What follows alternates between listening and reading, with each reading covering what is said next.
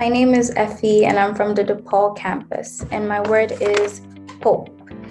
Because hope has helped me try to keep a positive mindset this school year and also to look forward to the little things despite everything going on in the world. My name is Jordan. I go to UIC, and the word I chose was trust.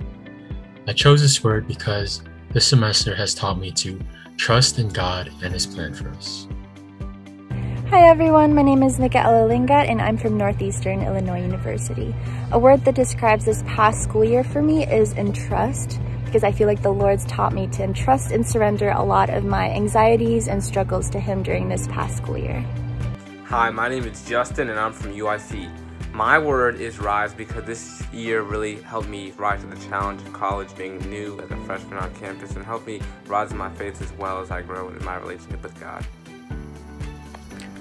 My name is Eliza. I'm representing City Colleges of Chicago. And my word that I could describe this semester, it has been adventurous.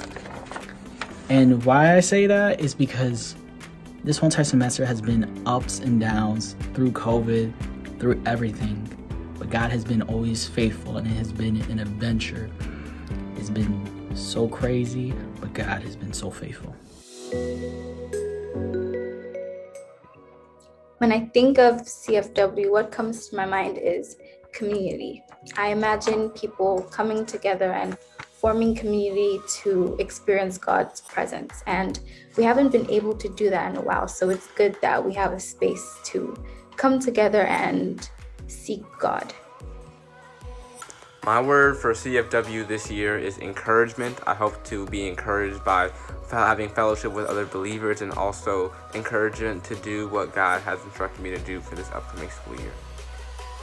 What I'm expecting in CFW is to be challenged, to be challenged in my growth, to be challenged in what God has called me.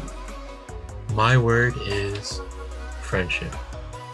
I chose this word because I look forward to meeting my friends that I made online in person for the very first time at CFW, and also the friendships I'll be able to make throughout this weekend.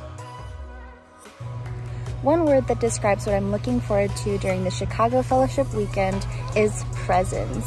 Both the presence of the Lord as well as the present mindfulness of his people and his children in fellowship.